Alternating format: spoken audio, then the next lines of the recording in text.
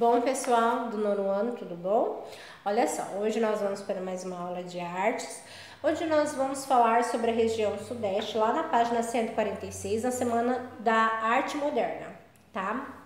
São Paulo foi um foi palco de grandes movimentos de artes, né? Que abalaram as estruturas.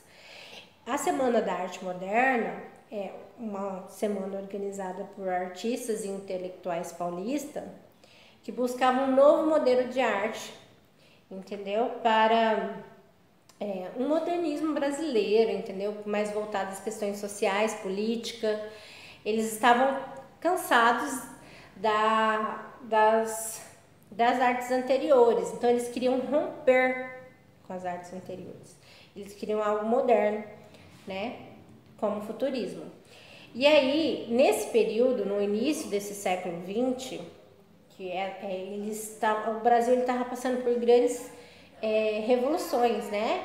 Primeiro foi o rompimento da Primeira Guerra Mundial, né? E o rompimento do pessoal que saiu do interior para vir para a cidade grande, o que acabou é, não suportando, não tendo saneamento básico para todos e acabou tendo uma proliferação de doenças, febre amarela, gripe espanhola.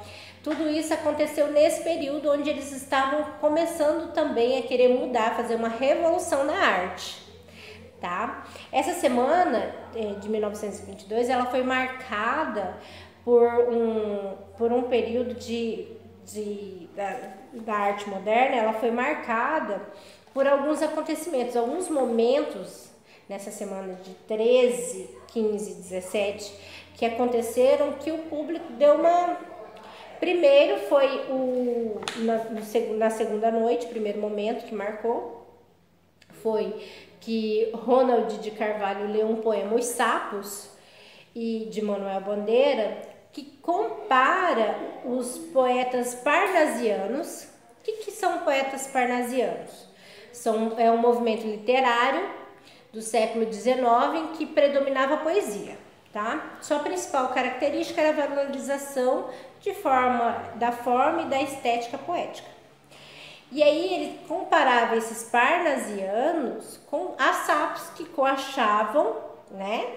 em ritmo perfeito, porque ficavam maravilhosos os poemas, mas que não conseguiam passar nada, não conseguiam se comunicar. Tá? Outro segundo momento que marcou também foi que Vila Lobos entrou no palco de chinelo, o que foi uma ofensa para os espectadores. Entendeu?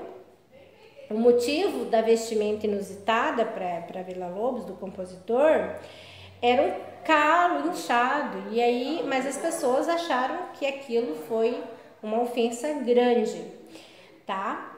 Então, é, após a semana de 1922, foram surgindo os novos grupos de artistas e de estilos vinculados a essa ideia inovadora da arte. Então, eles pegaram para eles o futurismo, né? Que a gente tá, começou a estudar. Lá na página 148, fala sobre as esculturas futurísticas. Tem uma escultura aqui de é, Humberto Boccioni, que é a Formas Únicas de Continuidade do Espaço, entendeu? É, ela é considerada uma das linguagens de arte futurística. A escultura é privilegiada à velocidade e ao movimento. E é, uma das mais conhecidas, mais destaque, é essa escultura de Humberto. Ela foi hoje até hoje é conhecido como destaque do futurismo, tá? Ela é repleta de formas pontiagudas. A figura ela é, apresenta uma noção de leveza, como se estivesse correndo contra o vento, porque como vocês estão vendo ela aqui, como vocês podem ver, ela tem umas pontas que formam como se ele estivesse correndo e ele está em ritmo, né, para frente, tá? E ele transmite isso através desses, desses, dessas pontas, tá?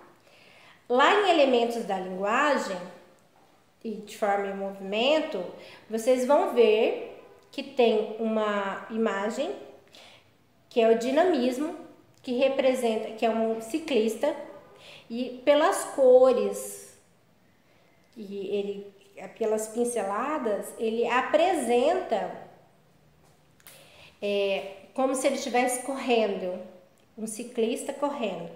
Na página 149, é, tem um esboço dele, que é esse que vocês estão vendo aqui, que vai apresentar a mesma coisa. Esse é o esboço, é como ele estava sendo desenhado, contornado.